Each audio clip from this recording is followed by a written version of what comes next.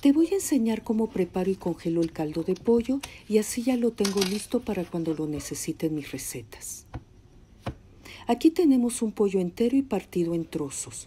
Me gusta cocinarlo con la piel y los huesos y más adelante verás por qué. Lo primero que vamos a hacer es quitarle la mayor cantidad de la grasa visible. Los trozos ya limpios los vamos poniendo en una olla. Y mira cuánta grasa quitamos.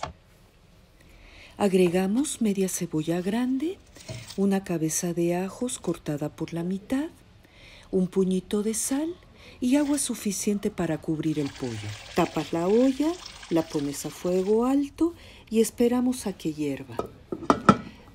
Revisas y en caso de que haya soltado espuma se la retiras. Tapas, bajas el fuego al mínimo, ya que lo que vamos a hacer es una cocción lenta y lo vamos a dejar cocinar entre 50 y 60 minutos dependiendo del tamaño del pollo. Al estar tapado, el agua no se evaporará tan fácilmente. De todos modos es importante que a los 30 minutos lo revises y si es necesario le agregues un poco más de agua caliente. Pasado este tiempo, retiras el pollo, los ajos y la cebolla. Lo cuelas y lo dejas entibiar. Lo tapas y dejas el recipiente en el refrigerador hasta el día siguiente. Sacamos el recipiente del refrigerador y mira toda la capa de grasa que ya tenemos en la superficie. La retiras con la ayuda de una cuchara y la tiras a la basura.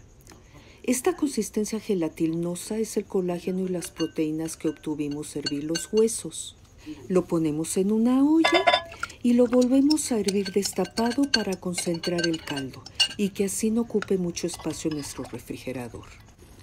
Mientras tanto, preparamos las bolsas donde lo vamos a envasar. Las identificamos con el nombre y la fecha. Me gusta usar estas bolsas reutilizables para alimentos, pero también puedes utilizar bolsas Ziploc para congelar.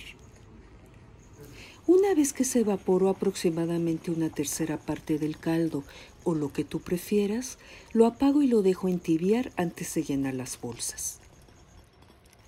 Les pongo a cada una entre 500 y 600 mililitros de caldo. Las doblo para sacar el aire y las cierro bien. Las coloco sobre una bandeja para que se congelen en una capa delgada y las guardo en el congelador. Después de varias horas, las retiro de la charola y ya las tengo listas para guardarlas en un extremo de mi congelador. Mira que casi no ocupan lugar.